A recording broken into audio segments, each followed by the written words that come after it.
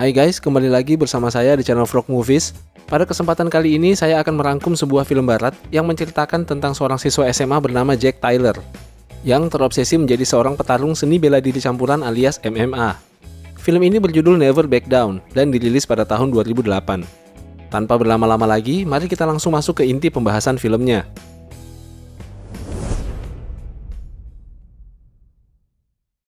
Film diawali dengan menampilkan adegan sebuah pertandingan American Football antar SMA. Pada pertandingan itu, awalnya Jack bermain baik dan menjadi andalan timnya untuk bertahan menghadapi serangan tim lawan. Tapi kemudian, lawannya mengetahui kelemahan Jack, yaitu emosinya mudah tersulut apabila disinggung mengenai kecelakaan yang menimpa ayahnya.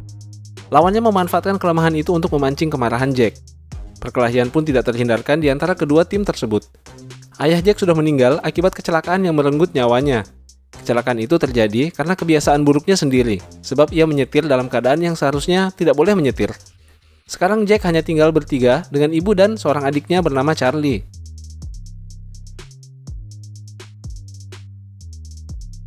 Charlie adalah seorang atlet tenis berbakat, dan mereka berencana untuk pindah ke kota lain, yaitu Orlando, untuk mengejar karir profesional Charlie sebagai petenis.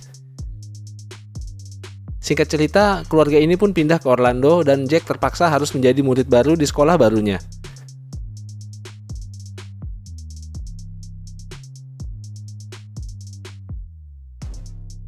Suatu hari, ia melihat seorang siswa yang tampaknya sedang dibully oleh siswa lainnya.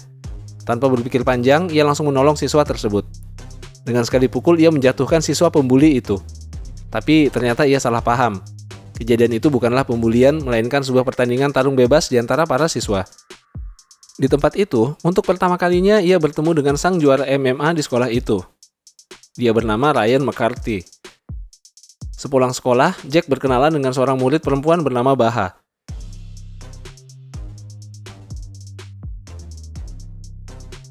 Keesokan harinya, Jack berkenalan dengan Max, yaitu murid yang pernah ditolongnya. Dari Max inilah, Jack mengetahui bahwa perkelahiannya di pertandingan football sudah tersebar di internet dan diketahui oleh semua murid di sekolah barunya itu.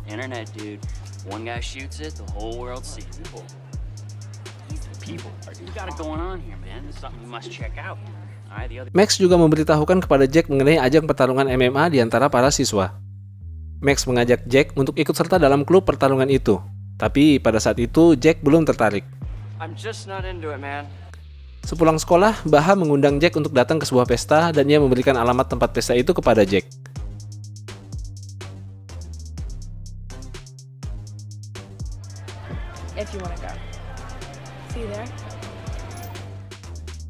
Malam itu Jack pergi ke pesta tersebut, dan di sana ia disambut oleh Max dan Ryan yang ternyata adalah tuan rumah pesta tersebut.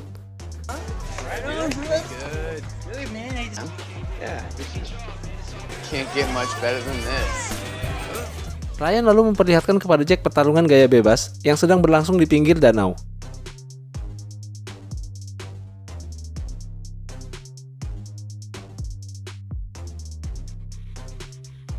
Tanpa diduga oleh Jack, ternyata Ryan sudah merencanakan untuk menantang Jack bertarung di pesta itu di hadapan banyak orang yang hadir. Jack menolak untuk bertarung, tapi Ryan terus mendesaknya. You gotta take out the best. We gotta give the people what they want. I don't want to fight anyone. You two have a good night. Ketika Jack akan meninggalkan rumah itu, salah seorang teman Ryan menghalanginya. Ryan lalu menyinggung mengenai ayah Jack untuk membuat Jack marah. Triknya berhasil dan emosi Jack pun terpancing. Ia lalu menerima tantangan Ryan. Pertarungan pun terjadi di antara mereka.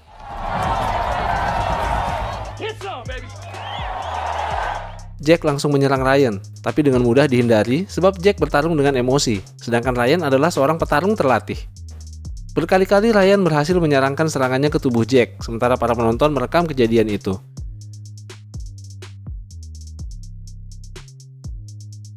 Serangan Ryan berhasil menjatuhkan Jack, tapi ternyata Jack bangkit lagi. Ryan lalu kembali menyerang Jack bertubi-tubi sehingga Jack kembali tumbang.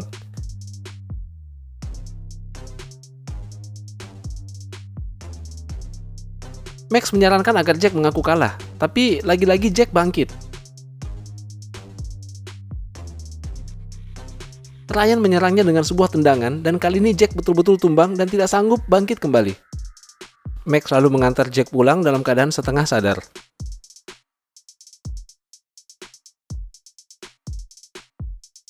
Keesokan paginya, Charlie mendapati kakaknya yang dalam keadaan babak belur. Sementara itu di sekolah, pertarungan semalam menjadi perbincangan hangat dan orang-orang masih membicarakannya. Malam harinya, Max datang menjenguk Jack. Max memberikan sebuah CD berisi rekaman latihan MMA di sebuah dojo.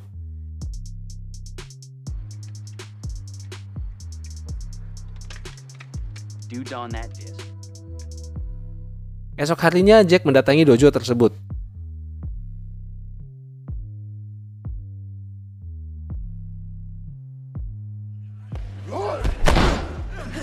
Di sana Max memperkenalkan Jack kepada pelatih yang bernama Jean Rakua. Tadinya Rakua akan memasukkan Jack di kelas pemula. Tapi Jack bersikeras untuk masuk di kelas lanjutan. Oleh sebab itu, Rakua lalu mengetes ketahanan fisik Jack.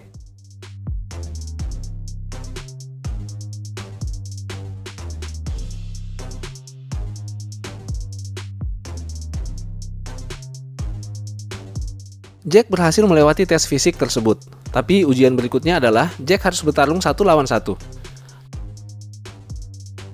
Awalnya Jack meremehkan lawannya yang bertubuh kecil, tapi kemudian lawannya itu dapat dengan mudah membanting dan mengunci Jack. Serangan-serangan Jack bahkan tidak ada yang mengenai sasaran. Akhirnya, karena tidak mau menyerah pada saat terkunci, Jack pun kehilangan kesadaran.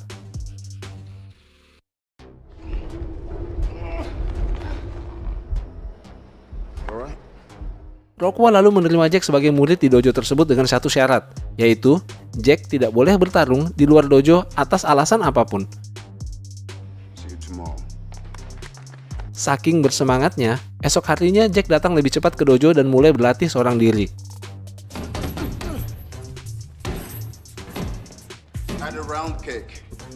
Rockwell mengajarkan Jack untuk menggabungkan pukulan dengan tendangan.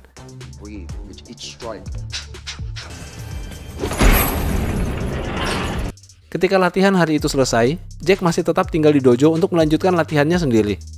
Hari demi hari dilalui Jack untuk berlatih keras.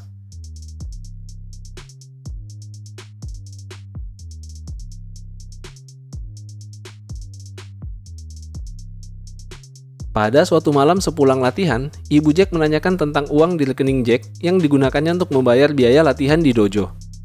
Jack tidak mengakui untuk apa ia mengambil uang tersebut, Lalu ibunya memeriksa tas Jack dan mendapati perlengkapan latihan milik Jack. Ibunya Jack lalu mengatakan bahwa Jack tidak boleh lagi bertarung. Keesokan harinya di sekolah, Ryan kembali menghina Jack dengan menyinggung mengenai ayahnya.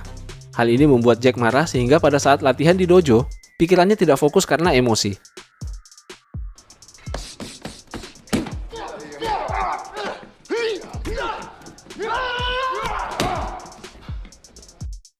Rockwell lalu menyuruh Jack pulang untuk menenangkan diri. Jack lalu pergi dengan marah dengan ditemani oleh Max.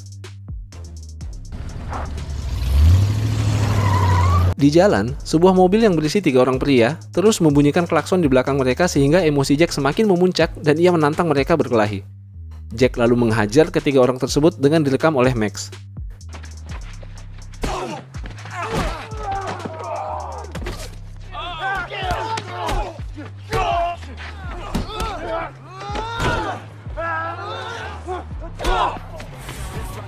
Rekaman itu dengan cepat tersebar ke mana-mana dan membuat Jack menjadi populer di sekolahnya. Tapi Ryan kembali mendatangi Jack dan menunjukkan bahwa Jack masih bukan tandingannya.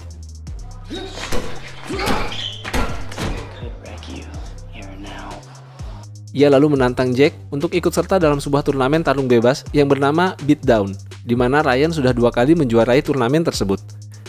Jack lalu mencari tahu mengenai turnamen itu kepada temannya si Max. Ia bertekad untuk memenuhi tantangan Ryan. Namun, karena Jack sudah melanggar aturan untuk tidak bertarung di luar dojo, Rokwa melarangnya untuk berlatih dan ia mengusir Jack. Hari berikutnya, Jack kembali mendatangi dojo, tapi Rokwa masih menolaknya bergabung. Jack lalu mendatangi dojo bersama Max di malam hari, lalu mengikuti Rokwa yang sedang pergi berbelanja.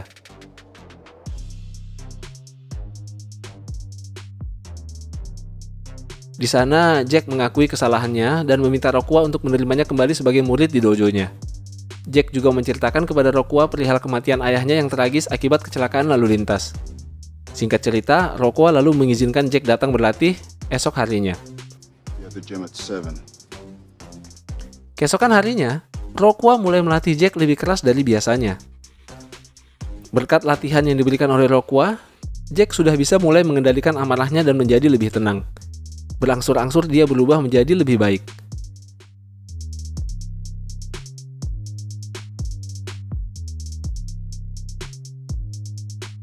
Jack juga menyempatkan diri untuk menonton adiknya bertanding tenis.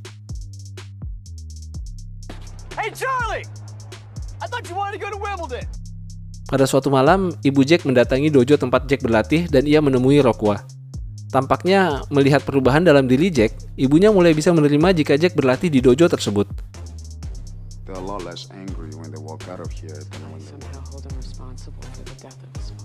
Ibunya bahkan membayarkan biaya latihan Jack.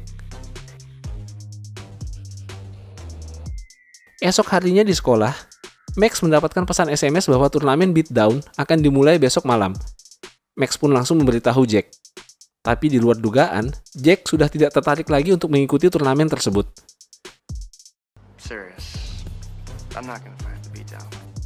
Berita batalnya Jack untuk ikut turnamen beatdown sampai ke telinga Ryan. Ryan sangat ingin mengalahkan Jack di turnamen bergengsi yang ditonton oleh banyak orang itu, sehingga ia lalu menyusun siasat untuk memaksa Jack mengikuti turnamen beatdown tersebut. Ryan mendatangi Max di dojo tempatnya berlatih dan mengajak Max untuk main ke rumahnya. Max setuju dan ia pergi bersama Ryan. Sesampainya di rumah Ryan, ia mengajak Max untuk berlatih bersama. Max tidak menyangka sama sekali bahwa ajakan Ryan adalah bagian dari rencananya untuk memancing Jack ikut turnamen beatdown. Ryan membuli dan menghajar Max habis-habisan sampai Max babak belur.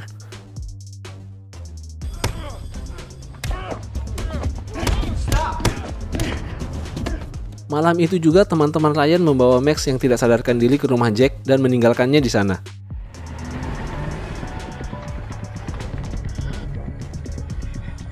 Max mengalami cedera yang cukup parah sehingga Jack tidak bisa tinggal diam begitu saja. Jack segera pergi ke dojo untuk mengambil mobil Max karena ia bertekad untuk datang dan bertarung dengan Ryan di turnamen beatdown. Di dojo, ia bertemu Rokwa yang sempat mencegahnya untuk melakukan balas dendam. Rokwa mengancam Jack dengan mengatakan bahwa jika Jack pergi ke turnamen beatdown untuk bertarung, maka Jack tidak bisa lagi menginjakan kakinya di dojo tersebut. Tapi Jack meyakinkan Rokwa bahwa ia harus melakukan sesuatu untuk menghentikan Ryan, dan ia tidak bisa tinggal diam begitu saja. Rokwa lalu mengizinkan Jack mengikuti turnamen beatdown tersebut. Jack pun segera bersiap dan bergegas pergi ke arena turnamen. Sesampainya di sana, suasana sudah ramai dan turnamen beatdown pun sudah dimulai. Singkat cerita, Jack mendaftar dan para petarung mulai saling mengeliminasi satu sama lain. Ryan pun muncul dan ia disambut meriah oleh para penonton sebagai juara bertahan yang tidak terkalahkan. Ryan pun dengan mudah dapat mengalahkan lawan pertamanya. Begitu juga dengan Jack yang mampu melewati babak penyisihan pertama tanpa kesulitan. Setahap demi setahap, baik Ryan maupun Jack bisa melewati lawan mereka masing-masing.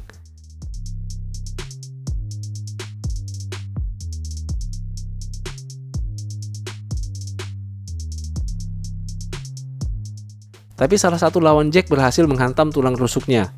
Sehingga Jack cedera, meskipun pada akhirnya Jack tetap mampu memenangkan pertarungan tersebut walaupun ia harus menahan rasa sakit pada tulang rusuknya.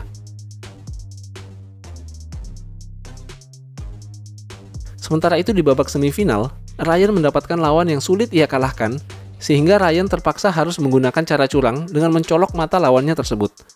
Perbuatannya itu ketahuan oleh wasit sehingga Ryan harus didiskualifikasi. Jack yang juga sudah sampai di babak semifinal menyadari bahwa Ryan sudah dikeluarkan dari turnamen itu. Sehingga ia pun menyerah begitu saja sebab tujuan utamanya datang ke tempat itu hanyalah untuk menghadapi Ryan. Jack lalu meninggalkan tempat itu, tapi kemudian Ryan menyusulnya keluar gedung dan terjadilah pertarungan di luar arena.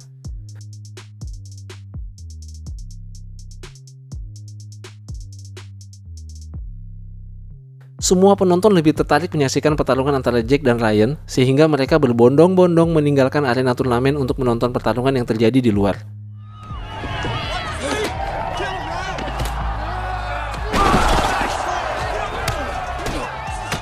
Di tengah-tengah pertarungan, Ryan menyerang tulang rusuk Jack yang sedang cedera sehingga gerakan Jack jadi lambat karena menahan sakit. Ryan semakin mendesak Jack dan menghantam tulang rusuknya berkali-kali. Ryan bahkan mampu membanting Jack ke tanah. Dalam keadaan terkunci dan hampir kalah, Jack tidak menyerah dan mencoba membalikan keadaan. Ia lalu berhasil melepaskan diri dari kuncian Ryan dan bahkan ia berhasil membanting Ryan. Lalu dengan sebuah serangan kombinasi tinju dan tendangan, Jack meng-KO Ryan.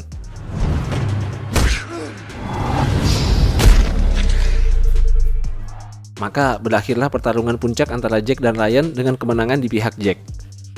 Beberapa hari kemudian di sekolah, sebuah adegan memperlihatkan bahwa antara Jack dan Ryan kini sudah tidak ada masalah dan sudah saling respek satu sama lain.